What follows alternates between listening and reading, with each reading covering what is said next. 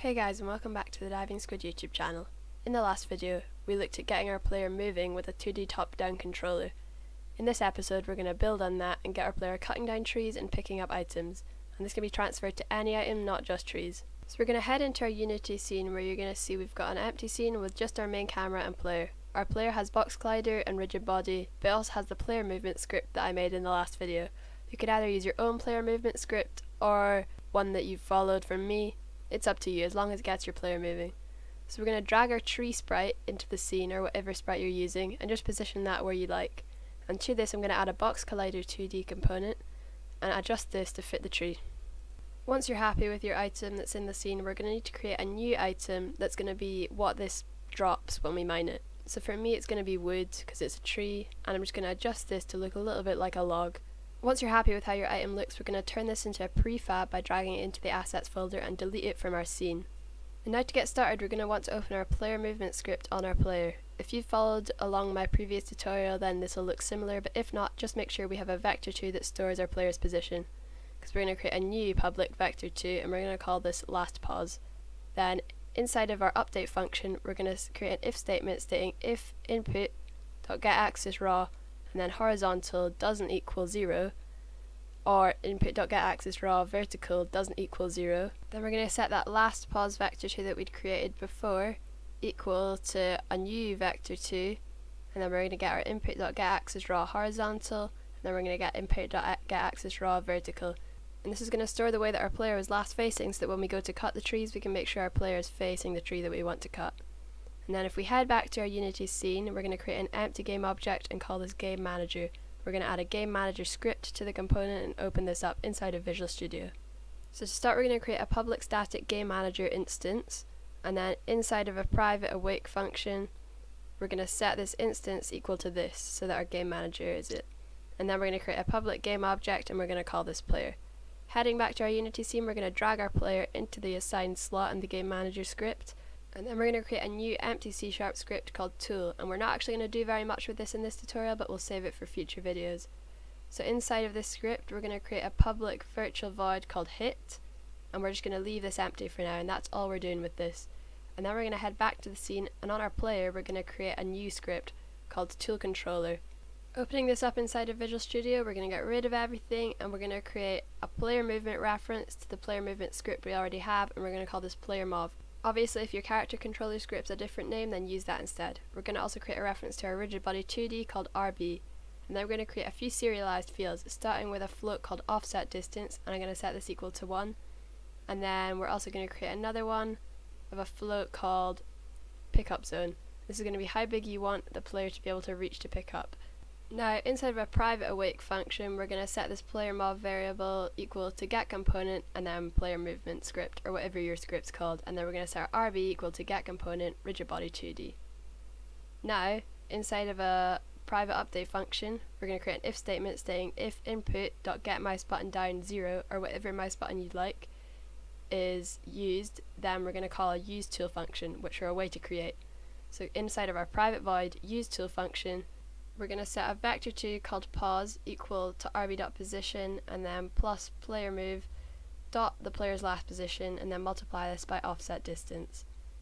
Then we're going to create a collider 2D array called colliders and we're going to set this equal to physics2d.overlap circle all and then our pos and then pickup zone. Now we're going to type for each and then collider 2D C in colliders and then inside of this we're going to set our tool hit equal to c.get component and then tool which is the script we made earlier. Now underneath this we're going to create an if statement saying if hit doesn't equal null then we're going to call hit.hit hit, and then we're going to break.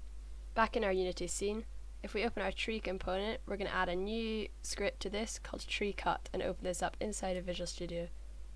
Now inside of this script it's important that we change mono behavior to the tool script that we made earlier and then we're going to create a few serialized fields. So the first one is going to be a game object and we're going to call this drop and this is going to be our loot that we want it to drop and then we're going to create another one called int drop count and set this to however many items you want to be dropped when we mine our object.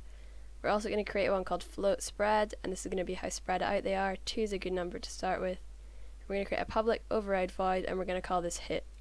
Now inside of this we're going to create a while and while drop count is greater than 0 we're going to set drop count minus equal to 1 and then set a vector 3 pos equal to transform.position.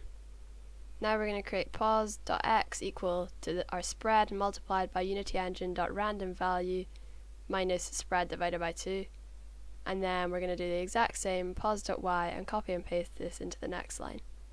This is going to get random values in a certain area for our items to drop and then we're going to create a game object called geo and instantiate our drop at the position of pos. Now outside of our while loop we're going to destroy the game object and then back inside of our Unity scene make sure we drag our wood prefab into the slot and then inside our wood prefab we're going to add a pickup item script to this and open this up inside of Visual Studio.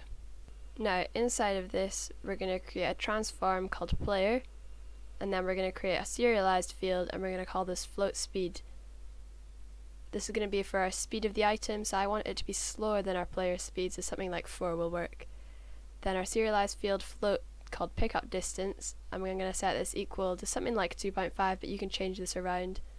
And lastly we're going to create a serialized field called float and then despawn time which I'm going to set to 10 seconds but you can set to whatever just so we don't have lots of items in our scene. Inside of a private awake function, we're going to set our player equal to that game manager dot instance dot player dot transform that we created earlier in our game manager script. And then inside of a private update function, we're going to set that despawn time minus equal to time dot delta time so that our item despawns after the time limit. And then we're going to check that if the despawn time is less than zero, then we want to destroy the loot game object. Now to get our object moving towards the player when they pick it up, we're going to create a float called distance, and we're going to set this equal to vector3 dot distance and then transform dot position player dot position. Now underneath this we're going to create an if statement stating if our distance is greater than the pickup distance that we've set then we want just to return. Now to get moving towards our player we're going to set a transform dot position equal to vector3 and we're actually going to type move towards which I add in after this and then we're going to type transform dot position and then player dot position and then speed multiplied by time dot delta time. Underneath this we're going to create an if statement checking that if our distance is less than equal to something like 0.1 then we want to destroy our object because the player has picked it up. Don't forget to go back up to this vector 3 and change it to move towards to make sure that the object starts to move towards our player. We're going to head back into the Unity scene you can now see that if we're facing our object and we hit it, we're able to pick up all the loot. And that's it for this video, guys. Big thank you to my patrons for their continued support, and thank you guys very much for watching this video. Don't forget to like and subscribe.